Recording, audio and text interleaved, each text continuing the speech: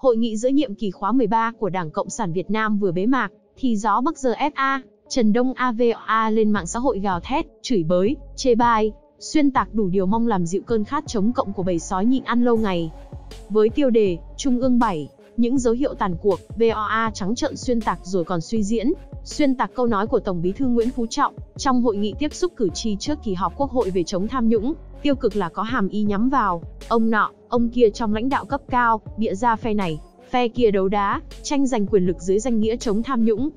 Chúng phủ nhận thành tựu công cuộc xây dựng và phát triển đất nước ta một cách đê tiện và láo xược. Cách tuyên truyền xuyên tạc bịp bợm, đổi trắng thay đen của VA và GFA quả không hổ danh là những cái loa chống cộng, chống loài người đến độ chuyên nghiệp nhưng không kém phần bỉ ổi. Sự thật tình hình Việt Nam, trong nửa nhiệm kỳ thực hiện nghị quyết đại hội 13 của Đảng Cộng sản Việt Nam, như thế nào? Vượt qua vô vàn khó khăn do đại dịch Covid-19, tình hình thế giới bất ổn, xung đột vũ trang, trừng phạt kinh tế giữa một số nước, lạm phát cao ở nhiều nước, người dân giảm chi tiêu, xuất khẩu khó khăn, đứt gãy chuỗi cung ứng toàn cầu, nguyên, nhiên vật liệu thiếu và giá tăng cao, nguy cơ suy thoái đối với nhiều nền kinh tế lớn, một số ngân hàng ở Mỹ, châu Âu sụp đổ, lãi suất tăng mạnh, trong bối cảnh kinh tế thương mại toàn cầu suy giảm, có nhiều rủi ro, kinh tế Việt Nam không thể không bị tác động mạnh, vậy mà vẫn tiếp tục tăng trưởng khá.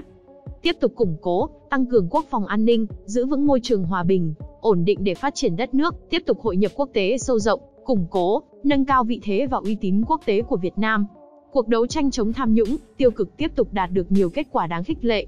Không có chuyện chống tham nhũng không thật lòng như giờ FA bịa đặt, càng không có chuyện mượn danh chống tham nhũng để đấu đá nội bộ, như VAA xuyên tạc. Kết luận hội nghị giữa nhiệm kỳ, Tổng Bí thư đánh giá những thành quả đạt được trong nửa nhiệm kỳ qua là do sự lãnh đạo, chỉ đạo sáng suốt của Ban chấp hành Trung ương, Bộ Chính trị, Ban Bí thư và các cấp ủy, tổ chức Đảng trong việc triển khai thực hiện nghị quyết đại hội 13 của Đảng, xử lý kịp thời, có hiệu quả nhiều vấn đề mới nảy sinh trong thực tiễn, sự quản lý, điều hành nhạy bén, quyết liệt, có hiệu quả của chính phủ, thủ tướng chính phủ và các cấp, sự đoàn kết thống nhất, phát huy truyền thống yêu nước, sức mạnh đại đoàn kết toàn dân tộc, nỗ lực của đội ngũ cán bộ, đảng viên, tinh thần lao động tích cực, sáng tạo của nhân dân, sự tín nhiệm, ủng hộ, đồng tình của cộng đồng quốc tế.